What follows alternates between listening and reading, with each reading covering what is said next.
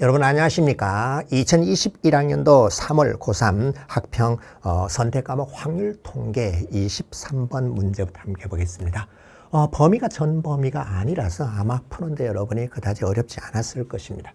23번은 그냥 간략한 2점짜리 문제로 중복 조합의 수를 나타내는 이 기호를 알고 있는 걸 물어본 거죠. 3 H 6이라고 하면 은 나는 8 combination 6과 같고 나는 8 combination 2와 같고 8 combination 2는 8 밑으로 2를 곱하고 2를 나누면 되니까는 28입니다. 예, 간단한 2점짜리입니다. 그 다음에 24번 문제는 어, 그림과 같은 도로망에서 A에서 출발하여 P를 지나 B로 가는 최단 거리의 경우의 수는 이라고 했습니다. 자, 아무리 간단하고 잘 아는 문제이더라도 천천히 하십시오.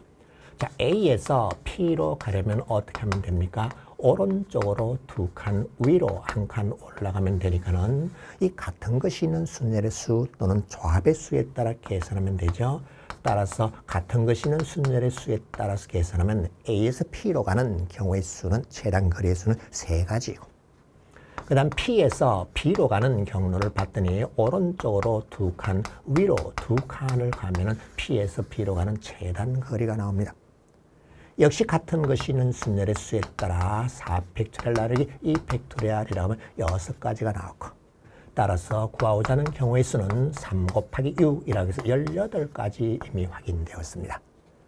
자, 간단하더라도 이렇게 차분하게 천천히 하십시오. 뭘 이용하였죠? 예, 여러 가지 방법이 있습니다.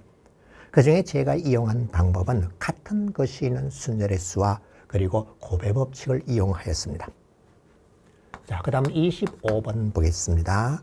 예, 회전하여 일치하는 것을 같은 것으로 보는 순열이죠. 어, 내 학급에서 두 명씩의 대표가 같은 학급 학생끼리는 이웃하도록 이 원형 탁자에 둘러앉는 방법의 순원이라고 했습니다. 자, 일단 네 개의 학급이니까는 네 개의 학급, 서로 이웃, 같은 학급끼리 이웃하라고 했기 때문에 네 개의 학급을 이렇게 어, 묶어 놓는 방법은 네 개에 대한 원순열이기 때문에 3 factorial 가집니다. 이제 그 각각에 대해서 이 두 학생들이 서로 자리를 바꾸는 경우가 각각 두 가지씩 있죠. 곱하기 2의 4승, 따라서 6 곱하기 16이라고 해서 96가지 문제들이 다 간단간단하죠.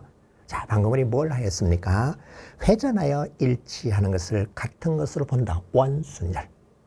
그리고 서로 자리를 바꿀 수 있고 경우의 수 고배 법칙을 이용하였습니다. 그 다음에 26번은 뭐 전형적으로 많이 풀어본 것이죠. 중복 조합의 활용입니다. 같은 종류의 연필 6자루와 같은 종류의 지우개 5개를 3명의 학생에게 남김없이 나눠주려고 한다.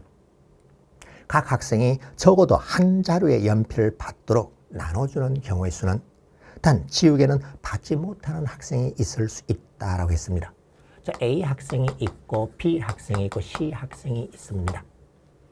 어, 여섯 자루의 연필 각각 A 자루, B 자루, C 자루를 남김없이 나눠줬으니 이와 같이 하면 되고 연필은 적어도 하나씩 받았기 때문에 여기서 A, B, C는 자연수입니다. 다음에 지우개 다섯 개를 각각 X개, Y개, Z개를 받았는데 다섯 개 남김없이 나눠줬죠. 그러나 지우개를 받지 못하는 학생이 있을 수 있기 때문에 어, X, Y, Z는 어떻게 0보다 크나 같은 어, 0 이상의 0 이상의 정수임을 확인하였습니다. 그럼 이와 같이 되는 경우는요. 자연수의 순서상의 개수는 예, 여러 가지 방법이 있지만은 제 강의를 들은 친구는 커트 포인트 원리, 자르는 점의 원리를 이용합니다. 5 콤비네이션이 어, 하나, 둘, 셋, 넷, 다섯, 여섯 개 하나, 둘, 셋, 넷, 다섯 자리 중에서 두 곳을 이렇게 잘라주면은 A 학생 두 자루, B 학생, 아, A 학생 한 자루, B 학생 두 자루, C 학생 세 자루라고 해서 이와 같이 됩니다. 자연수의 개수. 열 가지임을 알았습니다. 연필 나눠주는 방법은. 어, 지우개를 나눠주는 방법은 의미 아닌, 어, 의미, 어, 의미 아닌 정수입니다. 0 이상의 정수, 뭐 의미 아닌 정수 같은 뜻이죠. 이것은 중복 조합의 활용으로 X, Y, Z 세 개를 이용해서 다섯 개를 채우면 되죠. 아, 이것은 7 combination 5, 7 combination 2와 같고 7곱의 문제들이 쉽고 어렵지 않기 때문에 차분하고 침착하게 해서 실수하지 않도록 하십시오. 21가지입니다. 연필 나눠주는 방법 10가지, 그 각각의 지우개를 나눠주는 방법이 21가지, 경우의 수 곱의 법칙에 의해서 210가지임을 확인했습니다.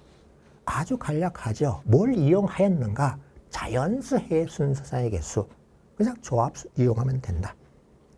음이 아닌 정수의 순서상의 개수. 네, 중복 조합을 활용하면 됩니다.